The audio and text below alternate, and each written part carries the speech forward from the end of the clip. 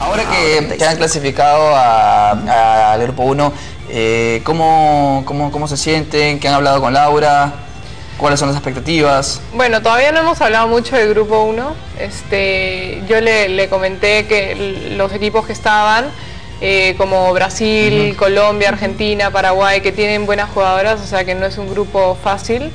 Eh, va a haber que, bueno, las chicas entrenar. Primera vez que juego dobles con Dominique, así que... ¿Qué tal, bien? ¿Qué tal? ¿Te sentiste cómoda? Sí, sí, es un poco chiquita todavía, ¿no? Pero... ¿En qué lado jugaste toda la cancha? Yo en mi derecha y ah, en su derecha, sí. Este, pero nos complementamos bien, o sea, sube a la red y, eso es este ah, llama la atención. Claro, con mucha confianza, ¿no es cierto? Porque generalmente uno de repente con inexperiencia dice mejor me, quedo atrás y, me cuido un poco, no, no arriesgo tanto. Sí, así que eso es bueno, porque hace tiempo que no, tenía una compañera más o menos que... Que se adapte que aunque falle, está bien jugado, ¿entiendes? Generalmente este, se, se quedan atrás y pasan y pasan y yo soy mejor de fondo que en la volea, pero nos complementamos bien y por eso, por más que los partidos, bueno, jugamos dos, el primero fue fácil, en realidad podría haber jugado otra persona en vez de yo, porque igual lo íbamos a ganar y ya teníamos la serie ganada, pero Laura me pidió que jugara para ver cómo, cómo respondíamos este, Dominique y yo, así que eh, nos sirvió para el siguiente partido que por más que ganamos en dos sets no fue, no fue tan fácil. Ahora, Dominique ha venido a reforzar el equipo de Fed Cup, ella vive en los Estados Unidos y para que la gente la conozca un poco más, tú dices es chiquita, ¿te refieres a cuántos años tiene? O, tiene 16. 16. No, no es chiquita de físico. Sí, físicamente no. Es, es un poco alta, pero pero me refiero a la edad. Claro. Ahora, es bueno que siendo tan jovencita no tenga esa capacidad de reacción que tú necesitabas en una partner, ¿no? Sí, sí, eso, eso está bueno. Este, la verdad que no lo había tenido desde hace, bueno, en Perú nunca.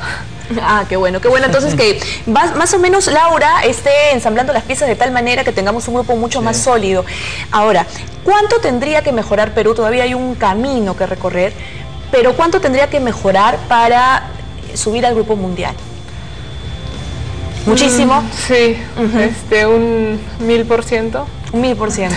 es realista, es realista. y además para, eh, para, ir terminando, Bianca, ¿qué se te viene a ti? Ahora que ya la selección, la selección va a tener una para, obviamente, eh, por la Fed Cup, tú individualmente, ¿qué vas a hacer? ¿Vas a ir a Argentina? no, ahora me voy a Toronto. Ah, ah los Panamericanos. Los Panamericanos, es próximo reto. Y de ahí este, juego dos torneos más ahí por la zona en Estados Unidos para, estoy a un paso de entrar a US Open, entonces tengo que ir a esos dos torneos para ya... Si entras a US Open yo voy a, verte jugar tu Sí, vamos, vamos, como te que lo juro, Te lo juro. Está bien. ¿En qué nivel sientes que estás ahorita, justamente para afrontar estos Juegos Panamericanos? Eh, bueno, eh, la semana pasada no fue mi mejor semana, este, no, la verdad no me sentí muy bien, pero igual tengo dos semanas más para entrenar. Es un torneo bastante duro, o sea, por la calidad de jugadoras que hay. Estados Unidos manda este, jugadoras que están 40, 50 del mundo. No manda a Serena Williams, por supuesto, pero sí.